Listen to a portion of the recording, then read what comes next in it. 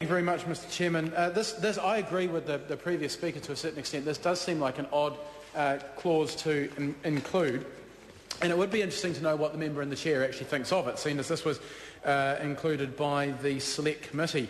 Uh, but I want to talk from, from my experience at Massey University about why I think this, this particular clause uh, simply will not work uh, in, in, in real terms and actually when you think about it in practical terms because at, at Massey uh, there are a number of different campuses, and in fact, each campus has its own uh, student association.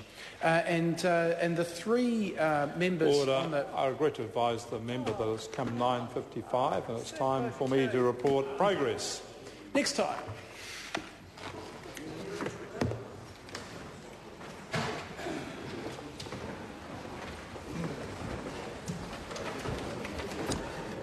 The House has resumed. Mr Chairman. Uh, Mr Speaker, the committee has considered the Education Freedom of Association Amendment Bill and reports progress.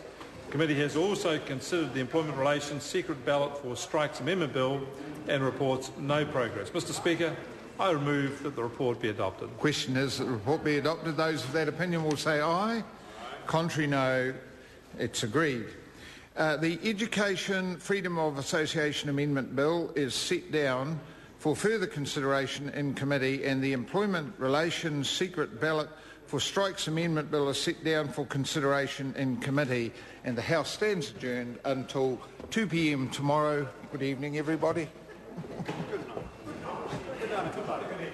Good night.